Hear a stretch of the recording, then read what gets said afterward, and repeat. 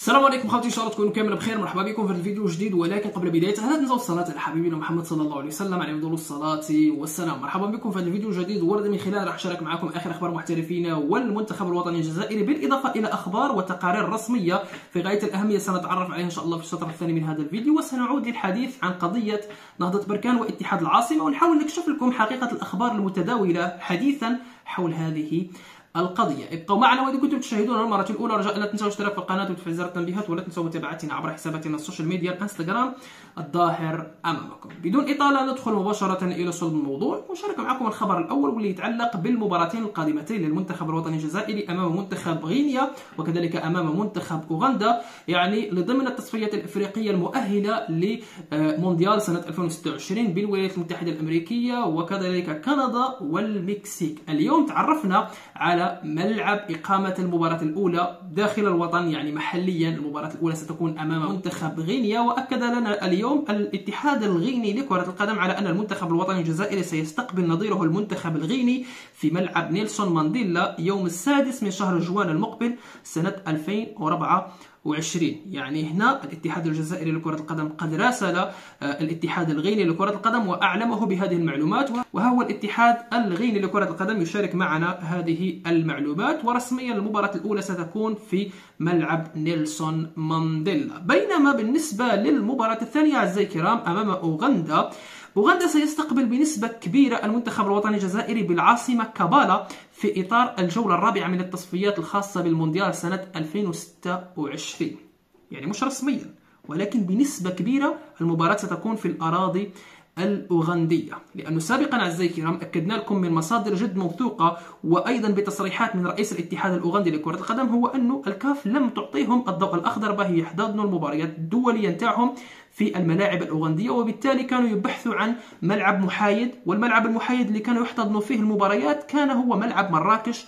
المغربي وب 99% المباراة كانت متجهة إلى أن تلعب في ملعب مراكش مباراة الجزائر ومنتخب أوغندا. ولكن اليوم تعرفنا على أخبار جد إيجابية هو أن المباراة القادمة أمام منتخب أوغندا ستقام في الأراضي الأوغندية عكس الأراضي المغربية.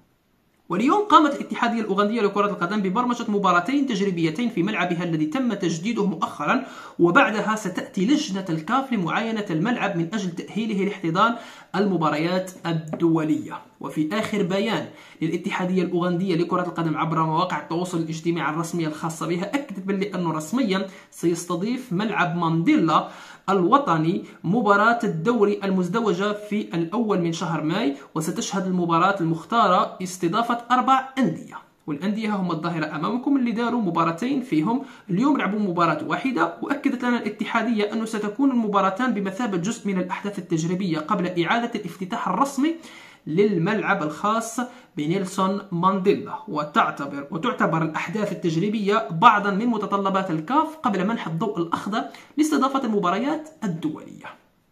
يعني هم داروا هذه المباراتين التجريبية فقط. به بهج الكاف وتعطيهم الضوء الأخضر من أجل يعني به يلعبوا المباريات الدولية في هذا الملعب. وطبعا بعدما احتضنوا المباراة الأولى اليوم كانت هنالك انطباعات إيجابية حول الملعب وبنسبة كبيرة ستؤهل الكاف ملعب نيلسون مانديلا حسب إعلاميين هنالك في أوغندا لاحتضان مباراتها أمام المنتخب الوطني الجزائري والبوتسواني المؤهل للمونديال القادم. وأما بالنسبة للأخبار التي تداولت مؤخرا على أن الكاف قد قامت فعلا بتأهيل الملعب الخاص بنيلسون مانديلا الأوغندي هذه الأخبار لا أساس لها من الصحة والاتحاد الإفريقي لكرة القدم لم يعطي الضوء الأخضر يعني في الوقت الحالي به يحتضن المباريات الدولية في هذا الملعب. ولكن بنسبة كبيرة ستلعب المباراة القادمة يعني في أوغندا. مباراة الجزائر والمنتخب الأوغندي ستقام في أوغندا عكس ما كان عليه العادة أنها ستلعب في المغرب. حاليا نمر إلى الخبر الموالي. الخبر الموالي يتعلق بفلاديمير بيتكوفيتش مدرب المنتخب الوطني الجزائري والذي عاد إلى الجزائر وشرع في زيارات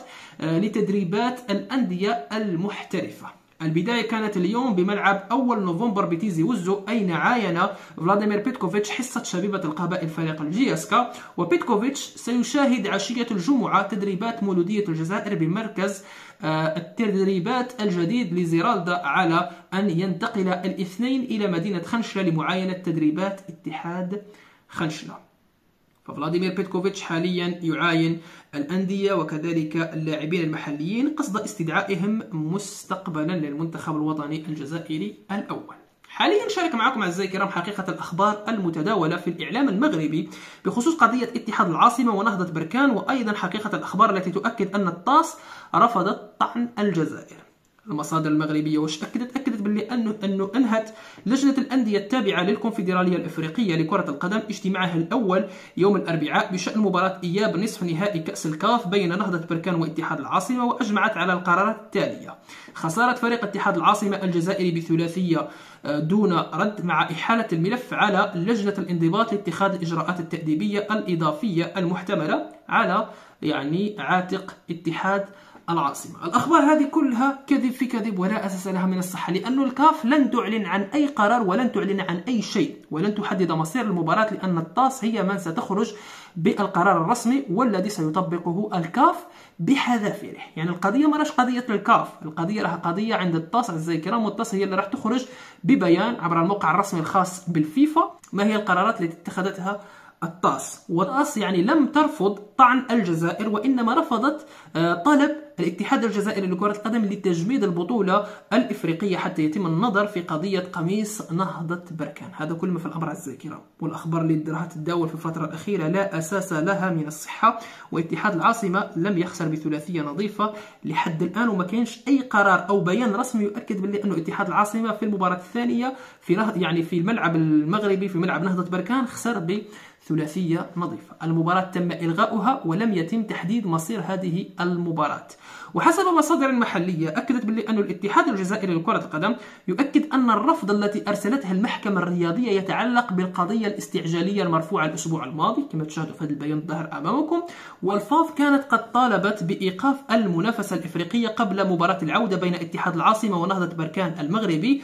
والفاف كانت تدرك أن طلبها سيقابل بالرفض لأن المراسلة تمت في نهاية الأسبوع ولا يمكن للمحكمة أن تعالج القضية بتلك السرعة.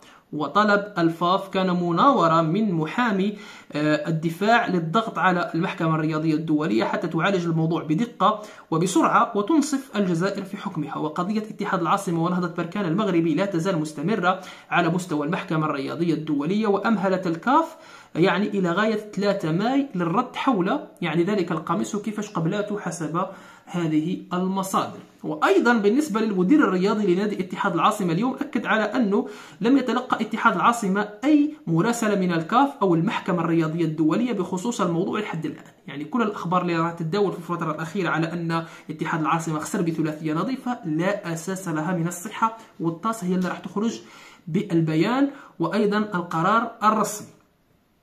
كما قلت لكم ليتأكد لنا أن كل الأخبار المتداولة كذب في كذب ولا أساس لها من الصحة بتاتا. وطبعا موعد يعني الإعلان عن آه، القرار الرسمي راح يكون بعد 3 ماي أعزائي الكرام لأنه 3 ماي هو آخر مدة وآخر يعني أجل به الكاف يعني توضح للطاس ما حدث في مباراة اتحاد العاصمة وكذلك أيضا يعني نهضة بركان. قضية شائكة وستكون أعزائي الكرام الرد الرسمي حول هذه النقطة بعد 3 ماي. ممكن في الرابع أو الخامس ماي كحد أقصى.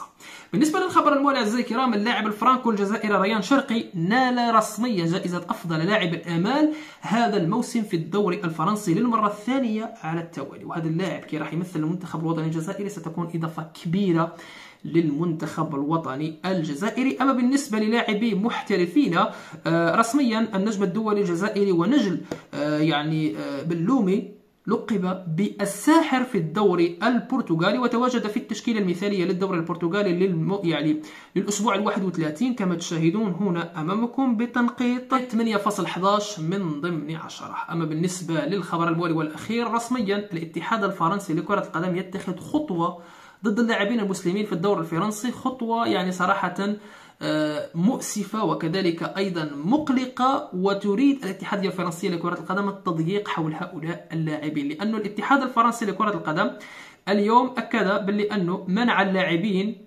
يعني بصفة عامة وليس فقط المسلمين ولكن هي يعني كانت هذا البيان دارته من أجل اللاعبين المسلمين حيث منعتهم من ارتداء السراويل الداخلية التي تغطي الركبة من أجل سترة العورة وفقا لتعاليم الدين الإسلامي. وتحجج الاتحاد الفرنسي لكرة القدم بأن ارتداء السراويل الداخلية يمثل علامة مرئية واضحة للانتماء لأي دين أو مذهب. يعني سابقا كانوا يمنعوا اللاعبين باه ما يصوموش شهر رمضان الكريم وحاليا ما يلبسوش يعني هذاك يعني آه، السراويل الداخلية اللي تغطي الركبة. وما راناش عارفين مستقبلا واش راح يكون. هذه كلها الكرام جاءت من أجل التضييق على هؤلاء اللاعبين وسقطة كبيرة يسقطها الاتحاد الفرنسي لكرة القدم. كما قلت لكم أنا على بها نفضل الدوري الإنجليزي الممتاز. ما عندوش مثل هذه القرارات التعسفيه ما عندوش أيضا آه، ميوله لبعض اللاعبين وبعض الأديان.